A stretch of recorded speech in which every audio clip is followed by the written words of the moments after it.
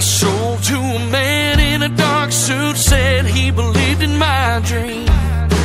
I left my home and all that was in it and headed up to Tennessee. And three years later, I was caught up in it. There was no end in sight. I found myself in a concrete cell, praying I'd make it through the night. And I prayed,